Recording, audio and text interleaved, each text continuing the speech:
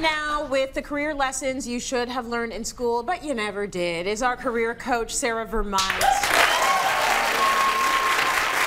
Sarah has just published her second book, Career Rookie, a get it together guide for grad students and career newbies. We're so excited that we can talk about this on the show. When I met you first on the show, you had launched your first book, and like bam, all of a sudden your second book, you're an accomplished author now, girl. Like Thank this is you. amazing. Mm. And the information, like it's so salient because there are so many people that are in careers they don't love. They're in a place where they, they never thought they were going to stay and they need to sort of figure out how to shift gears.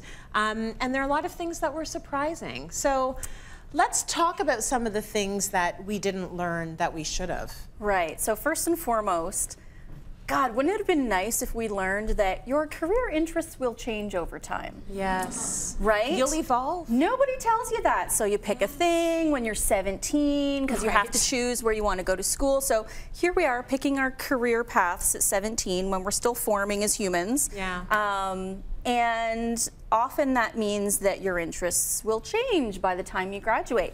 In fact, only 7% of people have the same career goals at 25 as they had at 17 when they had to pick their career path. Oh, wow. So that means 93% of people are getting out of school and straight up panicking because they no mm. longer want what they wanted when they applied to school. That is scary. Yeah. That is pretty scary. And I, and I mean, it totally makes sense. Why would you know at that young in your life what you want to do for the rest of your life? That's right. So if your interests have changed, you should just know that's totally normal. And yeah. in fact, you're in the same boat as most people. Yeah. And unfortunately, when your interests do naturally change over time, because you're an evolving, growing human, yeah. a lot of people feel a lot of shame about that and a lot of regret. And they feel like, oh, I picked the wrong thing. It's not that you picked the wrong thing. It's just that you didn't know who you were going to become and how you were going to change and grow. Yeah. So if you can drop or soften some of that self-judgment, it's really, really helpful, actually. Yes, you're very good. You're, you have got to be forgiving with yourself. Absolutely. It's okay. It's not your fault. It's all right. Yeah. So now you you figured you you might not be in the um, in the right place. Mm -hmm. What do you do next? Yes.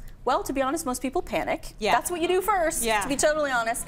And people panic because usually they're in a place where they know what they don't want, but yes. they don't yet know what they do want. Right. That in-between place is a really kind of scary place to be. Mm -hmm. And so very often what you can do is think of what instead of trying to think of your dream job title, think in terms of like career ingredients. Like just start thinking about what kind of work tasks do I enjoy? What kind of people do I want to be around? Mm -hmm. And what kind of people do I not want to be around? Right. Because that really matters actually. Usually when it we does. think about careers, we only think about career tasks yeah. and work tasks.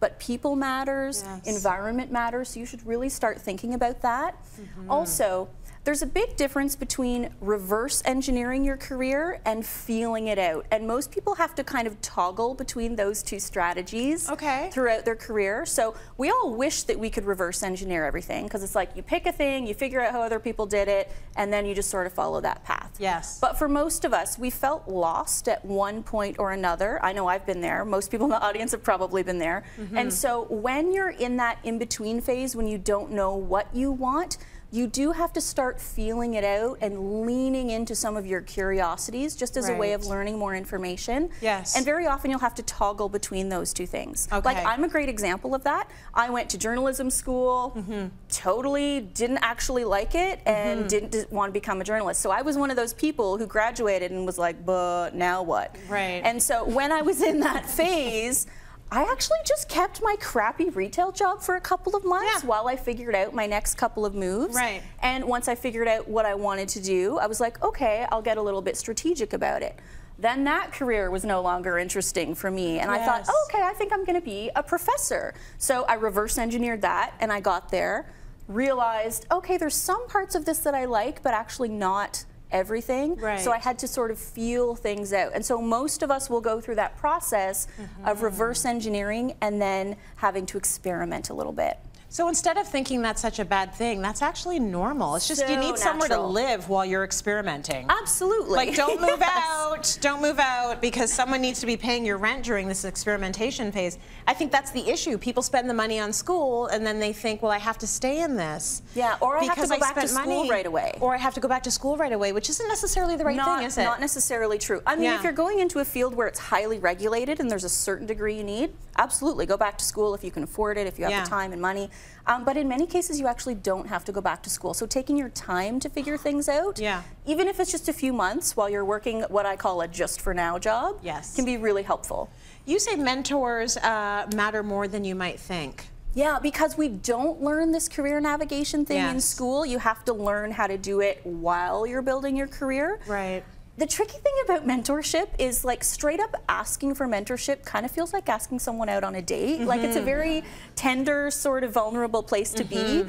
And so, what I often tell people to do is like ask for mentorship or advice on a specific project or a specific topic. Mm-hmm. Because then the person you're approaching doesn't feel like they have to invest everything in you. It's like a nice, like, it's like asking someone out for coffee before you ask for an engagement, right? Yes. Like, just let's go slow, people. There's also this thing I call uh, mentorship by stealth. Okay. And that is simply just watching and paying attention to what some of the people you admire are doing. Right. And so you don't actually have to be in their proximity, working on projects with them to sort of pay attention and notice and borrow some of their career moves. Oh, I love that idea. Yeah. See, I've been doing that, but it didn't have a title till now. Mentorship by stealth. Yes. Yes. Like sneakily just watching, like, you know, people you admire. Yeah. And as someone who gets asked to be a mentor, I don't know, three times a week, An hour. an hour. yeah. Um, I love when people who want to be mentored will say to me,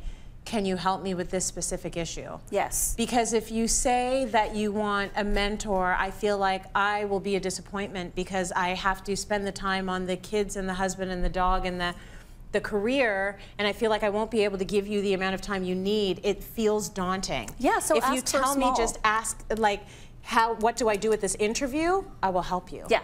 So it's a better way it's a better way for both sides, I think, Yes, right? absolutely, yeah. Yeah, and so I find myself mentoring many people, but they're Yes. doing it the right way. Yeah.